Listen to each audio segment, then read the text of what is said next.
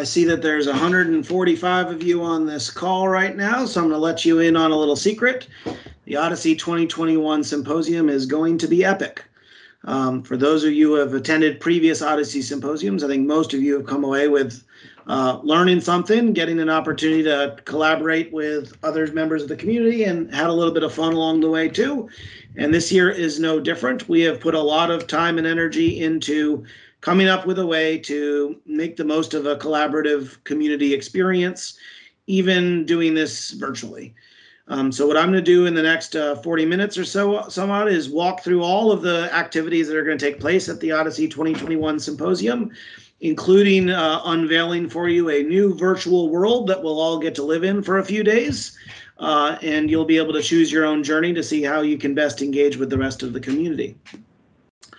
So first things first, when is the OHDSI 2021 symposium? So the the hold the date that you all should have had and hopefully have registered for was Sunday, September 12th through Wednesday, September 15th. Um, that is four calendar days. Uh, and that is going to be split up across a series of activities, which I'm going to walk through in, in detail. The first day is Sunday, September 12th, and this is going to be a tutorial that is uh, opened up. Uh, and we are going to do a community tutorial on building concept sets. And I'm going to talk a little bit more in depth about what, what we're actually going to do during this tutorial. So that's going to be day day one, September uh, September 12th on a Sunday. Uh, there'll be an opportunity for those who want to learn a little bit about this and engage with each other on the topic of building concept sets. You'll be able to do that. Day two, Monday, September 13th, we're actually uh, going to have an event that we're calling the OHDSI Reproducibility Challenge. And this is going to be an interactive activity um, that uh, we are we are planning for those who want to actively participate and engage in doing some research. We have a very well defined project that we want to conduct during the course of the day. And for those who want to observe and, and learn by watching, um, there's going to be a great opportunity for you to engage on day two. That's Monday, September 13th. And I'll explain the details of that as well. When, what people typically think about for the main OHDSI Symposium is a day where there's lots of presentations and opportunities to interact. And we've extended that to be two days this year.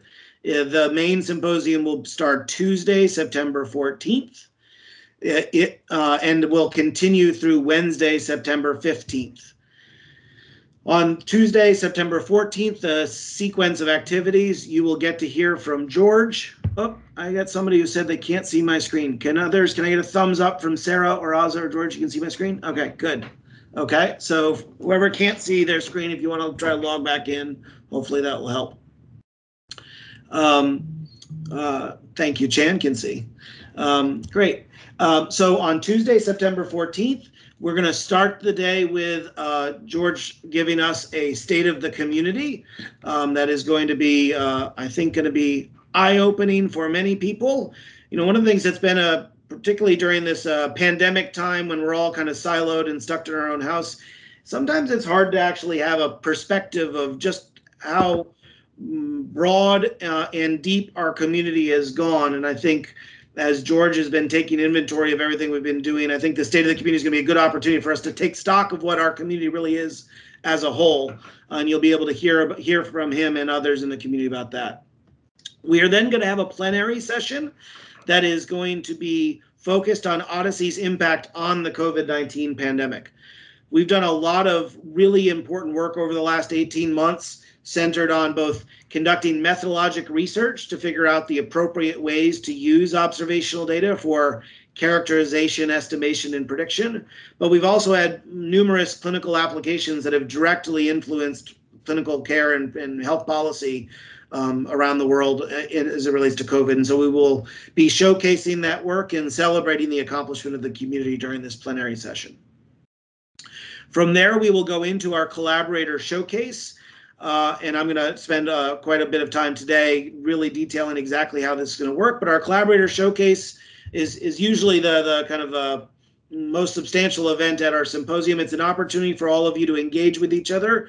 This year we had a record number of submissions for posters, lightning talks, and software demonstrations that will be showcased during the collaborator showcase. And we've created a um, created a pretty exciting way that we hope to really provide meaningful ways for everybody to actively participate and engage in that. And then we've also just created a space uh, and time for networking so that um, we know it's super hard in this virtual world. We're all just like sitting in our basements by ourselves, not getting to chat. And last year, I thought Craig did a, just an absolutely remarkable job of curating really high quality content for the symposium. And I was really proud of all the presenters that everything they showed. But the one piece of feedback we got last year was what was missing was that interpersonal connection where we just didn't get a chance to engage with each other as fully as we wanted to.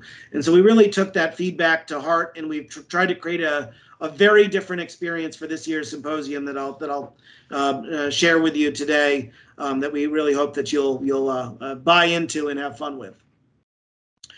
On Wednesday, September 15th, we will again reprise the collaborator showcase. As you're going to see, we've created a virtual world for this to all take place, which means it can happen anywhere around the world at any time. And we've created an opportunity for those our colleagues that are um, in any time zone, whether you're in um, US or North America or Europe or the Asia Pacific region, there's going to be an opportunity for you to meaning, meaningfully engage with each other throughout the course of these two days.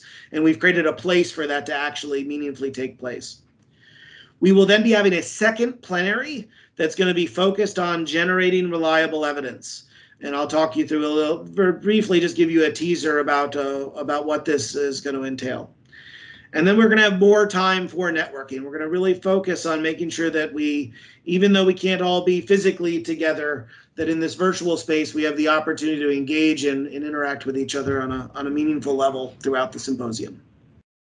So this is our high level four days of what the OHDSI 2021 Symposium will be. I'm going to walk through more details of each of these and give you guys a sneak preview of what that's going to look like. Before I do that, I want to highlight um, one of our newest members of the OHDSI uh, community, uh, Yasser uh, Al-Bogami.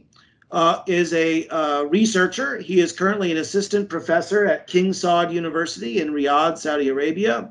Uh, last year, he was finishing up his PhD at the University of Florida uh, uh, under uh, Almut Winterstein in her lab, um, which is a top lab for pharmacoepidemiology. Yasser published this paper just last month um, entitled uh, Glucagon like peptide 1 receptor agonists and chronic lower respiratory disease exacerbations amongst patients with type 2 diabetes. This, this paper was published in Diabetes Care, which is the top diabetes journal. And um, when I read this paper, I was I was quite struck by it.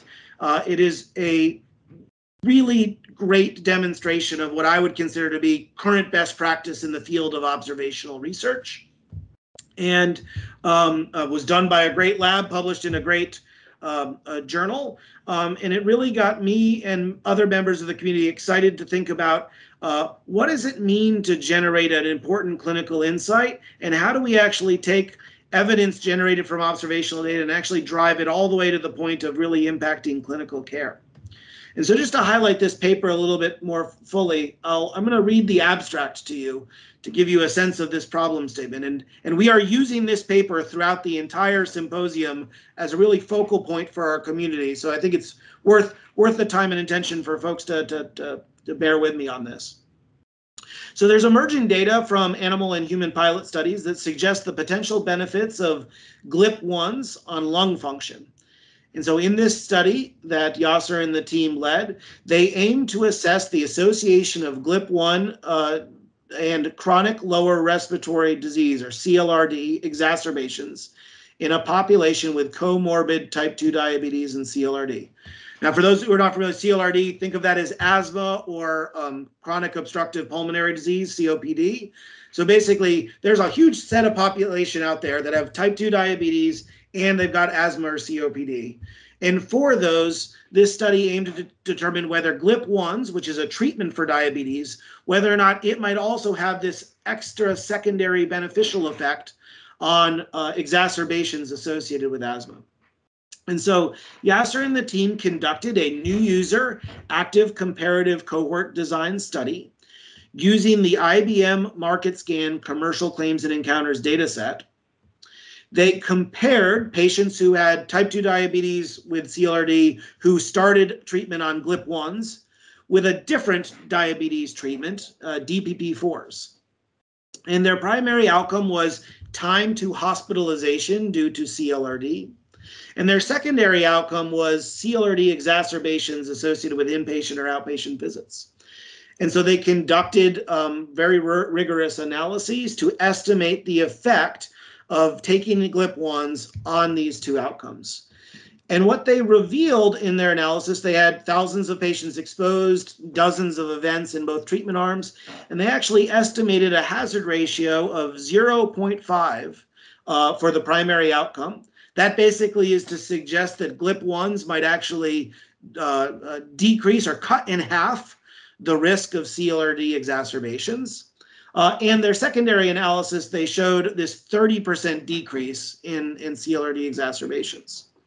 And so they conclude in this paper that GLP-1s had fewer CLRD exacerbations and that considering both plausible mechanism pathways and this real-world evidence, potential benefits of GLP-1s may be considered in the selection of an anti-diabetic treatment regimen and that randomized clinical trials are warranted to confirm our findings.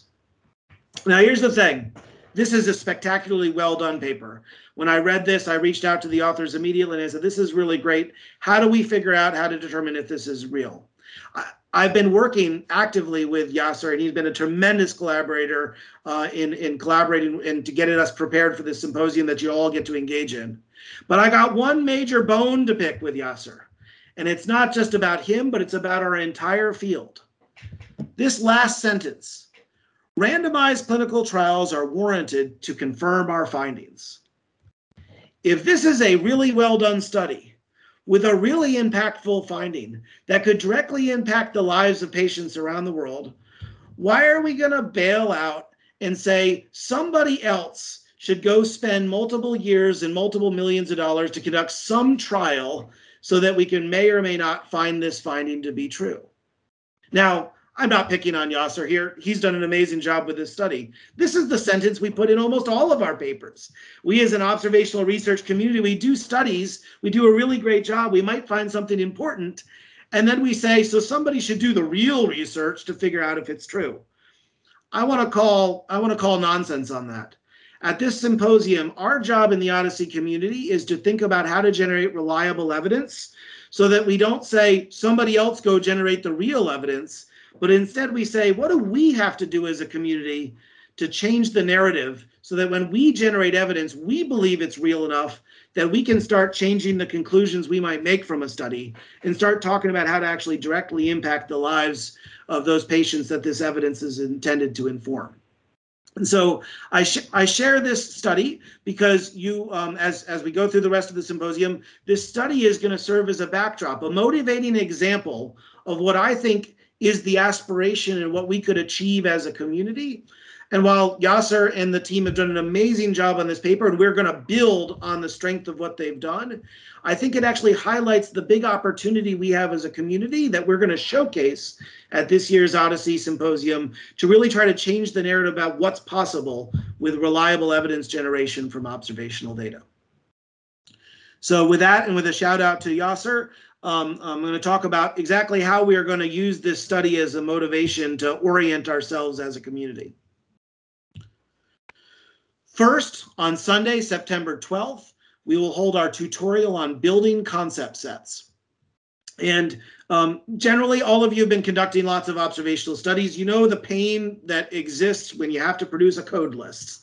We're going to say something like we want to study GLP-1s in patients with type 2 diabetes or CLRD, already in that one sentence, it raises the question, how do I find the codes for GLP-1s? How do I find the codes for type 2 diabetes? How do I find the codes for CLRD?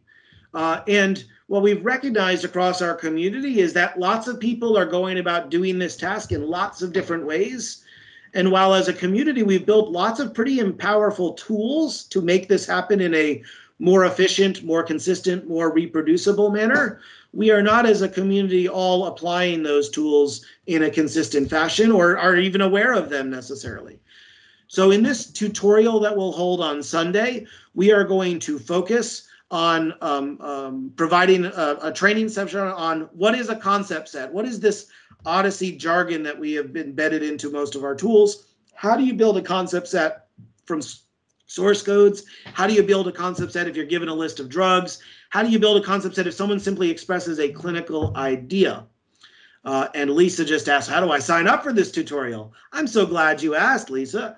Uh, so registration has now been posted uh, just like about an hour ago on the OHDSI website. If you go to ohdsi.org slash SEP12 building concept sets tutorial, and Elise just strategically posted the chat in the chat. We have limited space for this tutorial. We expect that this is probably going to fill up probably today. Um, and so that's why this meeting is your first chance. If what I just said was either interesting or confusing and you want to learn more, you should probably take the moment now to go ahead and register and join us for our full day tutorial September 12th on building concept sets. All right.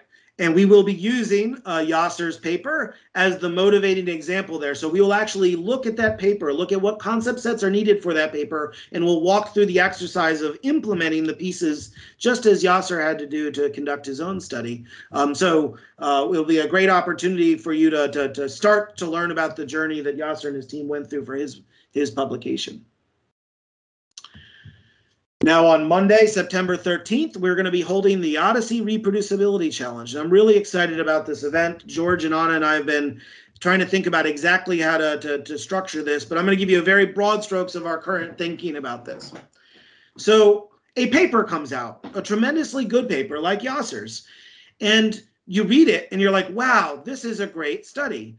It is well written, it's transparent, it has nice supplemental materials, it provides a compelling clinical finding, which, if it's true, would directly impact clinical care.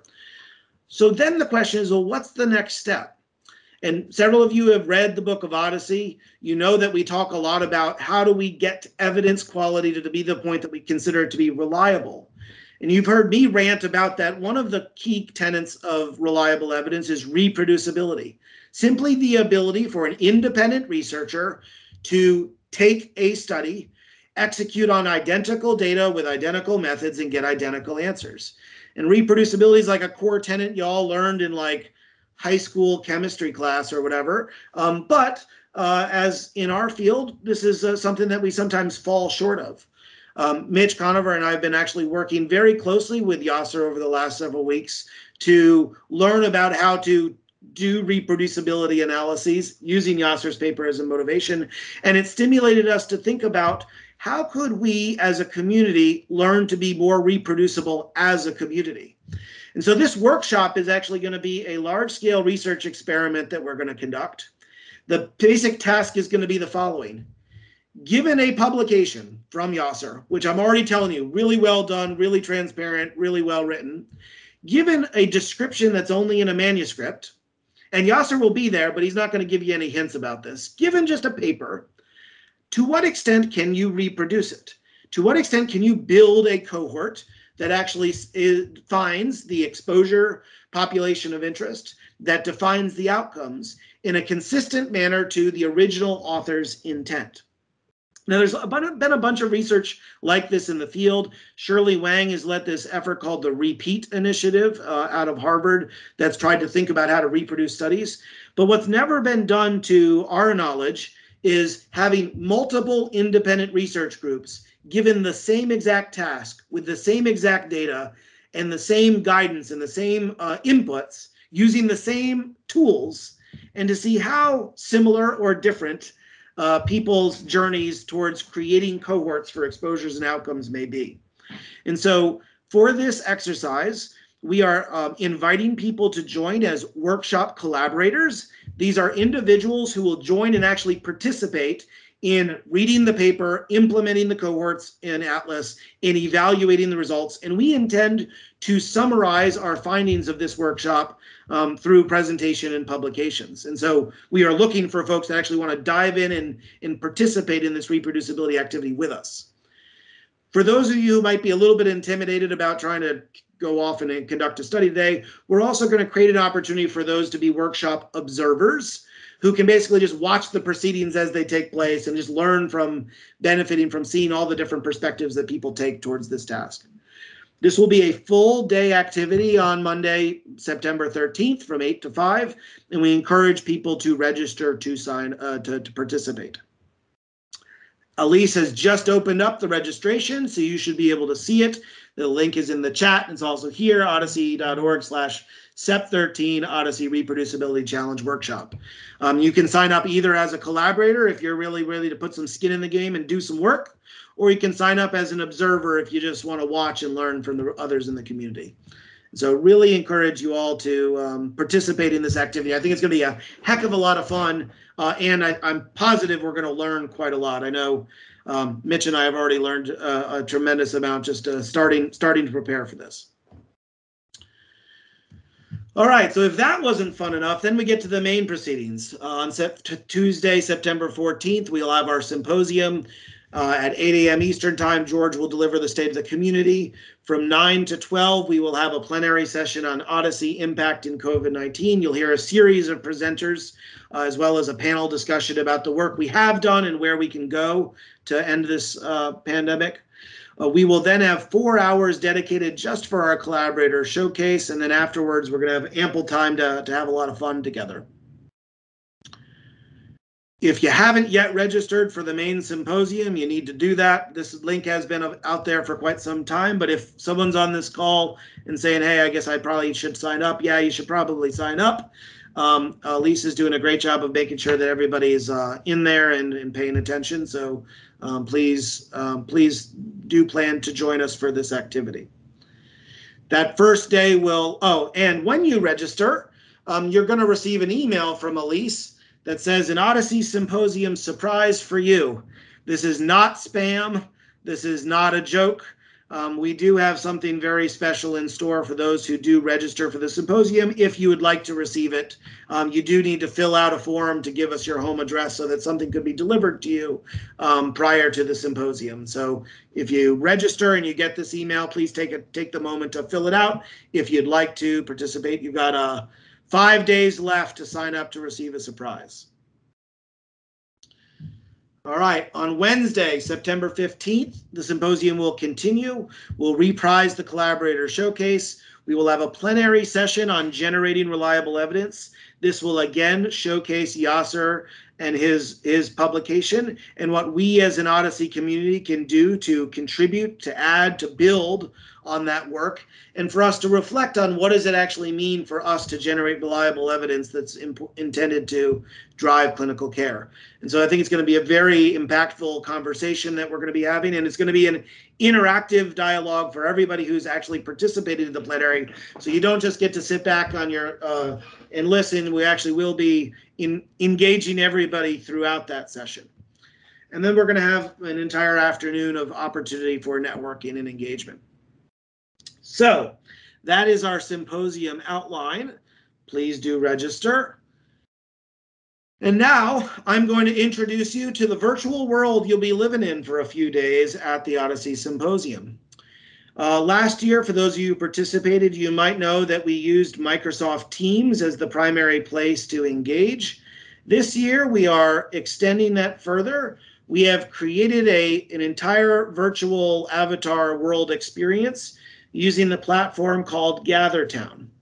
Uh, and so in GatherTown, um, we've created a virtual community where the entire showcase, or the entire symposium and, and collaborator showcase will take place. There are multiple worlds where you and your little avatar will get to walk around and check out things.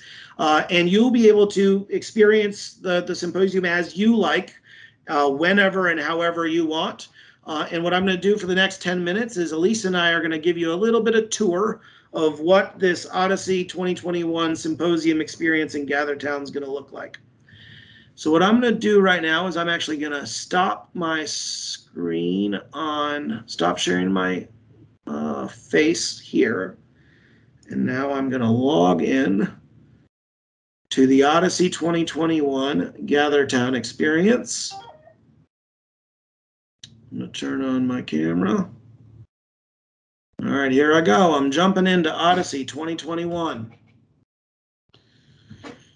What you can see is I've just jumped into a virtual world in GatherTown.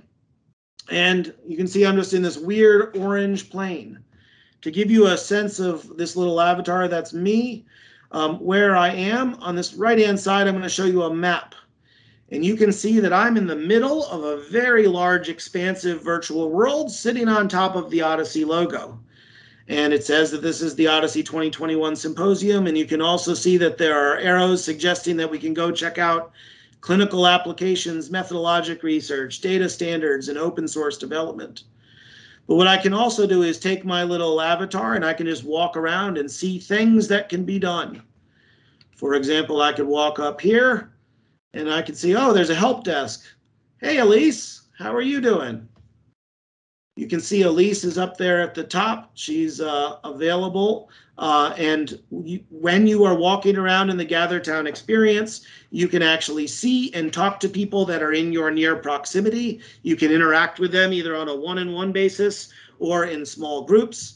Uh, Elise seems to be wanting to run away from me, and you can also do that. It's just like the awkwardness that you experience at a physical conference. If you want to be social, you can, and if you want to go hang out in a corner and drink by yourself, you can do that too. Elise is hanging out here in this private space, which is the help desk. She's going to be at the symposium right next to her little uh, candy jar there, um, uh, providing people guidance. But in addition to that, there's lots of other spaces that one can navigate around.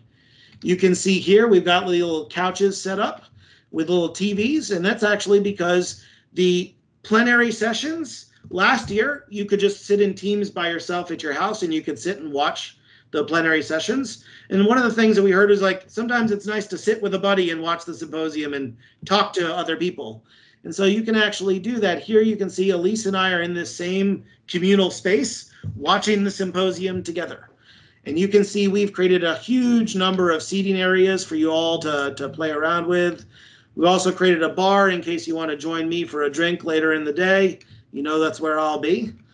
Um, but we've created a, a, a, large collection of opportunities for folks to engage. If you want to have a private meeting session and sit down and collaborate with folks, you can go join a table uh, and have a conversation about whatever topics of interest to you.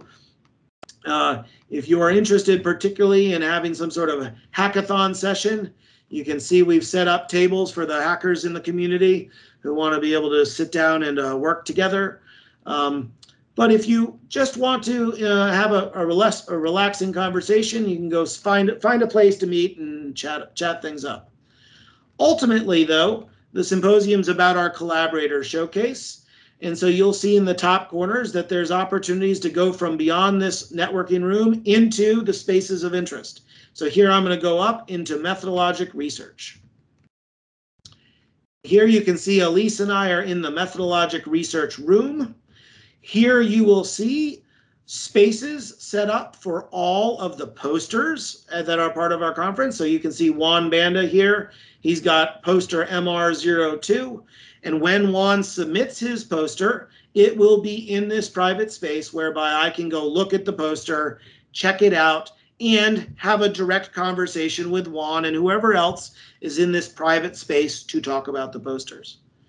Now we have over a hundred uh, collaborator showcase um, uh, content material that includes all of these posters. I think we have 81 posters that were accepted for presentation. We also have uh, places to hang out and chat. We've got viewing rooms for all of our lightning talks. So if you want to see uh, here, you can see actually Juan also has a lightning talk. Let's go over this one. Uh, Mitch. Mitch is going to be giving a lightning talk uh, about uh, methodologic research. And so I might go grab an armchair and watch his presentation whenever I feel like doing it, anytime during the, the two days. And when when that uh, specific period of time is happening, hopefully Mitch will be hanging out here and I can go have a private conversation with Mitch in this virtual space to learn more about what's going on with Mitch. You're going to see that in addition to methodologic research, um, there are rooms for all of our core domains, clinical applications, methods research, open source development, and data standards. And so there's these are each providing you all an opportunity to meaningfully engage, participate, check out the work, uh, and, and make connections with members of our community. So we have this entire virtual world we have now created, and we will be able to use this to its fullest on Tuesday, September 14th, Wednesday, September 15th, to engage in listening to the plenary sessions, doing the collaborator showcase, networking with each other to get a drink, uh, uh, and other fun fun activities that we have in stored that will all be embedded within this GatherTown virtual environment.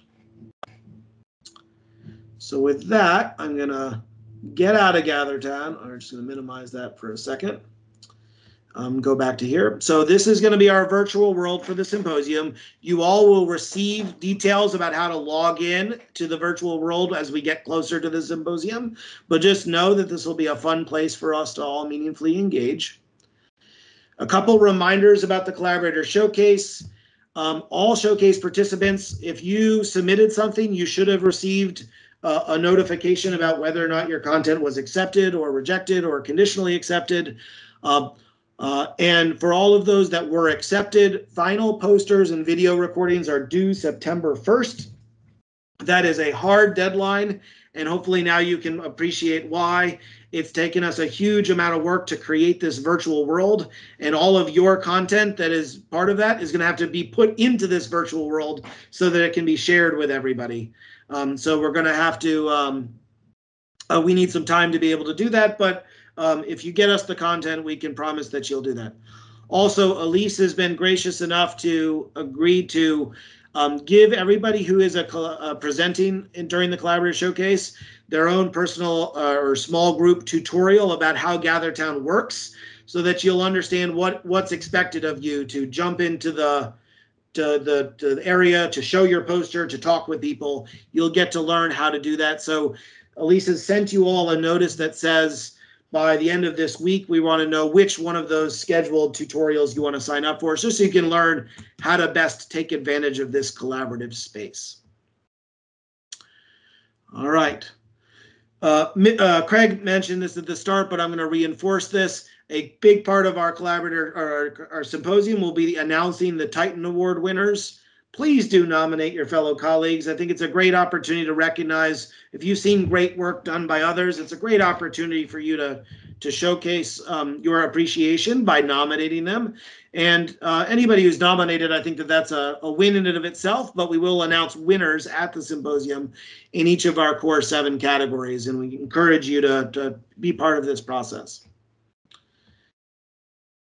terms of some fun things that are going on. Last year, one of the fun things, fun, silly things we did was we had a meme-a-thon. And you all got really engaged in participating in the uh, meme-a-thon, which was hosted in our Microsoft Teams in space. Um, so when something works really well, there's no reason not to keep it going. So we have announced that the OHDSI 2021 meme-a-thon will commence and actually already has now started in our Microsoft Teams environment. For those of you who have registered, you will, over the next, I guess, couple weeks, receive a link to get into the OHDSI 2021 Symposium Teams environment, where you will see my very lame attempts at memes to celebrate the start of our OHDSI 2021 Symposium together. So I'm going to encourage you all to uh, to have a little bit of fun, come up with some memes to talk about OHDSI. You'll be able to post this in the channel, and we'll be able to showcase this throughout the event. The other fun little thing that we're going to be doing, as Craig mentioned, is name that collaborator. Anybody know who that is? Very old picture. Is it Patrick? That is, is me. That is me. I don't know how I went from so cute to so ugly so fast, but um, we are going to have some fun activities. I ask that you please share a childhood photo of yourself, and we're going to see how well our community can identify each other. Uh, and so we'll be showcasing these pictures throughout the symposium so you get to know each other all a little bit better. All right. So just to conclude, OHDSI 2021 Symposium is almost here. If you are interested in having some fun with all of us, please register.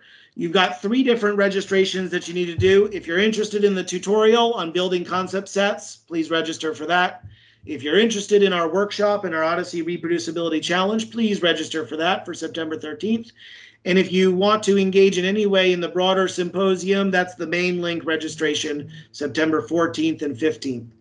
Um, if you register for the symposium, that does not mean you're in the tutorial or workshop. Tutorial and workshop registration is limited. We only have a limited number of seats to make a make it a meaningful process, so you need to sign up separately.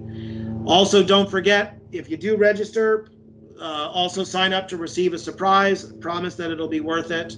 Please nominate a collaborator for the Titan Awards. Uh, and um, collaborator showcase presenters, make sure that you sign up for your GatherTown tutorial and make sure you submit your final materials. Uh, and for everybody, I'm looking forward to engaging with you all on a, a really fun and I think going to be a, a good engaging four days during our symposium next month. So, Craig, I just vomited a lot of words at you really fast, but I think we got seven minutes to answer any questions. So I'm happy to shut up and listen to other people. Sure, we will take, uh, we have a few minutes for some questions. Um, Sarah, we, we have to get you your OHDSI mask. You did win that OHDSI bingo last year, so that was that was impressive. We weren't sure anybody was going to pull that one off. Um, let's see. I know there's some questions that kind of came up throughout on the chat, so we can look at those. But if anybody wants to, uh, uh, Oz asked the method for nomination. I assume that's for the Titans, so that is uh, in the forums. I will get the link for the Titan Award nominations on the community calls page um, uh, this afternoon. So that will be there. Everything, uh, I know somebody mentioned they missed part of this presentation. So everything from this presentation will be on our community calls page this afternoon. Uh, we have five minutes. Anybody have any questions? I know there's a lot to take in, and there's clearly a lot of excitement about Gather Town. So that's uh, that's good to see. For the collaborator showcase, I will mention this, and I'll send this out later. But we, have done these videos that have um, promoted the the uh, community showcase work afterwards on, on Twitter and LinkedIn and and everywhere, and they're getting a lot of views. Last year was over 2,800 views uh, of these videos. So these are two two minutes. Uh, two minute 20 is the last is the, is the absolute maximum. So you so you know two minutes you can go less. Um, but when you're doing them, the thought is that they're not to draw interest to um, your presentation at the symposium. They are meant to actually just talk about your work after the symposium because we you know we highlight everybody's work at least one day uh, after the event. So um, you know we'll get that information out to you. But because we're talking about the symposium and because there's no questions right now, I wanted to get that out right now. Any other questions?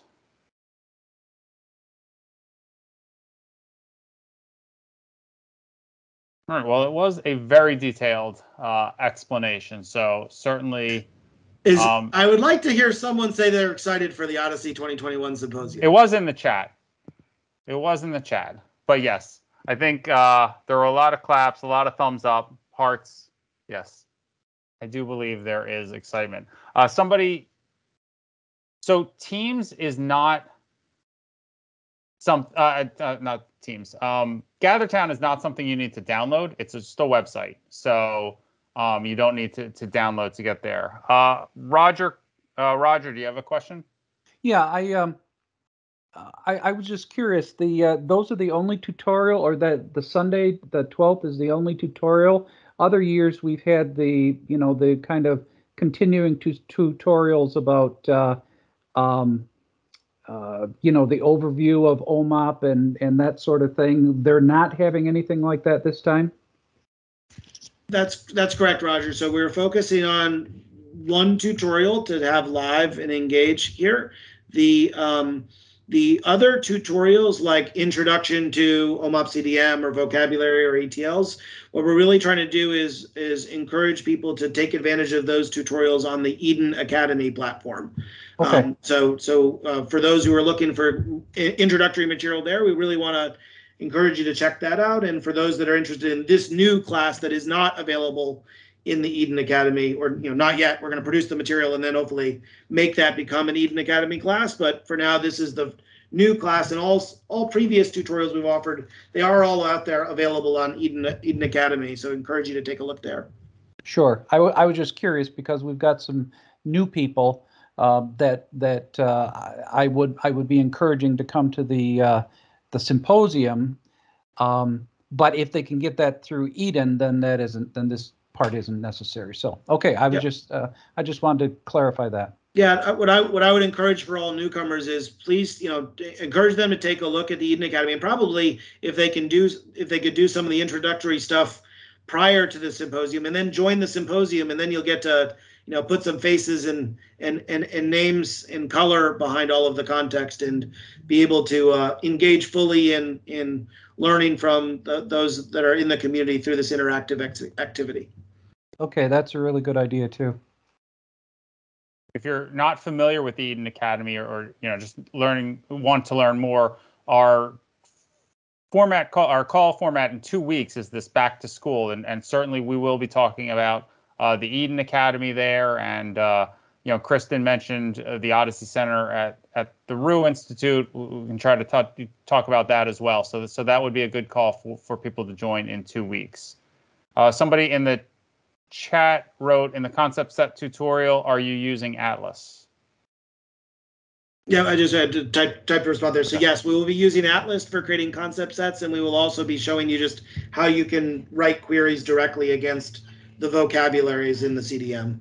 Um, but but for those that are looking for not to require doing programming, you'll be able to do it through the Atlas uh, user interface experience.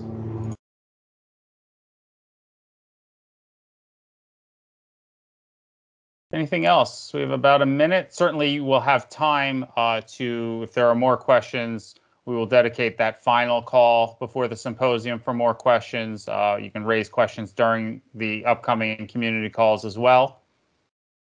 Uh, but we're really looking forward to it. Again, I really do recommend uh, registering. You know, don't don't forget register for the symposium if you want that surprise. You have to do it. I believe by August 15th was was the date and then those tutorial and the workshop. Remember, registering for the symposium does not get you into the day one and day two activities. So please make sure if you're interested in either or both, you register separately. All three registration links will be on the community call uh, page later this afternoon. Uh, real, okay, you answered that with the uh, for do we need Yeah, our just own for those data? that note on the chat, A- yeah, Andy asked the question about the workshop. Do you have to have data? You do not have to have data to be able to participate there. Um, you just need to be um, familiar with how to create uh, cohort definitions, um, which will then be centrally aggregated together and run on one common database. You don't have to bring the data. You just need to bring your knowledge.